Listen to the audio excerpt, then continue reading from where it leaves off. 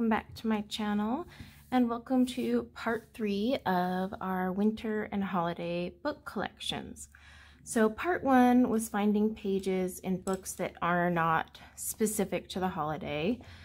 Um, so like all-purpose books or just pages that are hidden that we didn't even know about. and then part two was Christmas and winter pages or books, specific ones that I've collected over the years.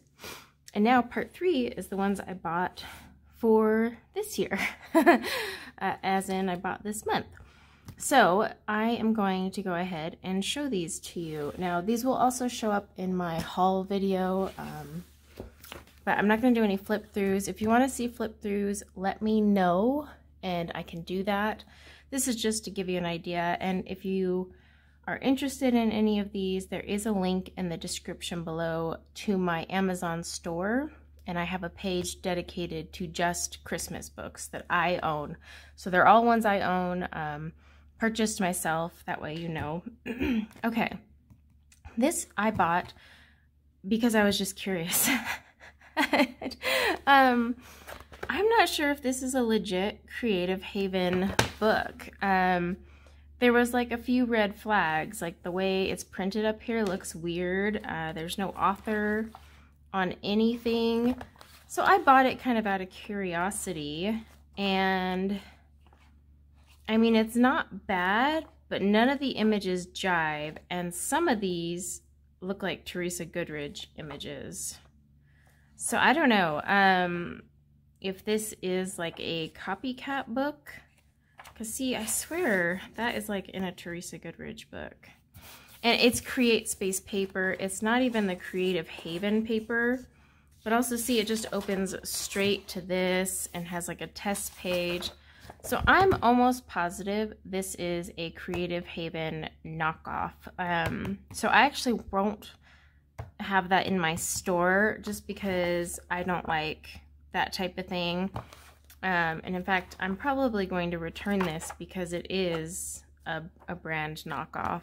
So, but one that isn't, uh, this is Jolly Winter by Demita Victoria. I got this because I like her images for um, markers. They're very, you know, open and easier for us marker noobs. I won't be using it in the book because it is Create Space paper so I'll probably scan it. But it's also a little grayscaled. Not a lot, but like that would be so fun to do with marker. So yeah, I just thought it was cute to try. So I got that one. And then um, I have Debbie Macomber's Very Merry Christmas coloring book. Um, I have one of her other books and they weren't too bad, so I really wanted to try this one. And I mean, her style is a little unique. And, you know, it's kind of, I don't know, who's this a cross between? But, I mean, not every image in here I'm, like, thrilled to color, but some I am. Like, this one I really want to do.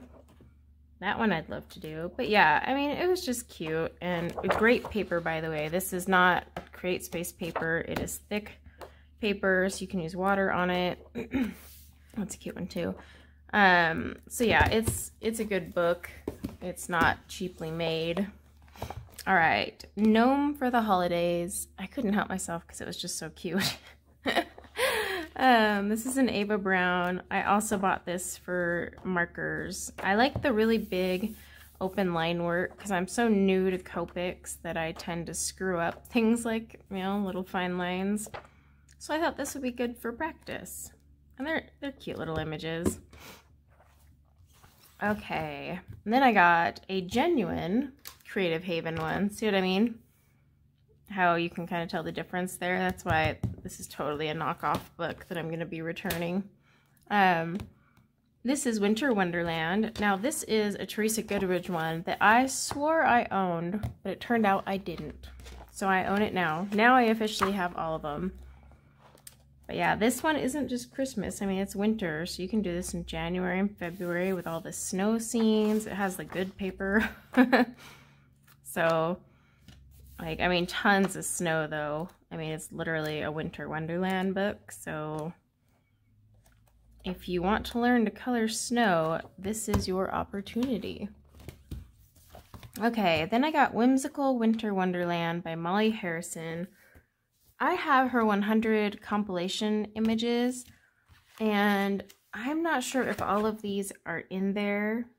I didn't remember seeing all of them, but I bought it to compare and see if all of them were in there. If they end up all being in there, then I'll just return this one since I already have them. But they're really cute. I might even just give it away to someone because it is adorable. All right. This is Coco Wyo's uh, Chibi Girls Christmas. So I've never bought one of her books. Um, they are Amazon Create Space paper. I like it has a black background. But again, I got this for marker work. Um, her stuff is a little bit more detailed in some spots, but I think it'll be a lot of fun. I love that these have a black background here and black backing. saves me from having to do the background. like that would be fun to do the hair. So yeah, that's why I ended up getting this one. And then this is kind of a mixture. So it does have Christmas ones in it, um, but it also doesn't. But this is a Chibi Girls um, coloring book by April Amber, volume 3. And it's on Create Space paper. But yeah, there's just some Christmas and winter ones mixed in. I mean, like, this is the one with the candy cane and all that. Um, you know, the rainstorm. So yeah, it's kind of a mixed book. Same with my last one. So this is that new one from Daria Draws. Don't ask me to say her real name. But this is from Halloween to Christmas. And so this does have her Christmas images in the back. And, and apparently a bonus Happy Mother's Day. but uh, yeah, I mean, so we've got all these Christmas ones. I do have PDFs of some of these already. Um, but not all of them. So the Christmas ones will be really fun. Like that one, I def is so cute. Little elves. So yeah, I mean, I have that on PDF. I don't have that one. I don't have that one either. And then, yeah, we get into the Halloween ones. But I bought it. Um, I should have bought it for Halloween, but I was kind of like, ah, I don't know.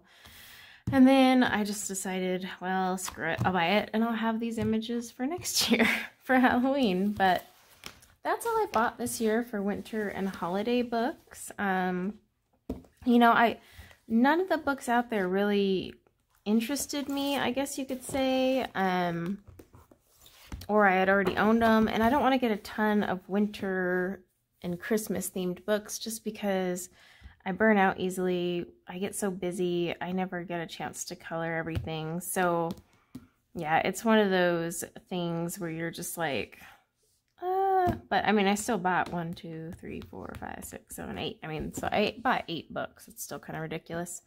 But yeah, this is my winter and Christmas haul books. I'll be coloring in these. Let me know if you want to see any color longs or flip actual flip throughs.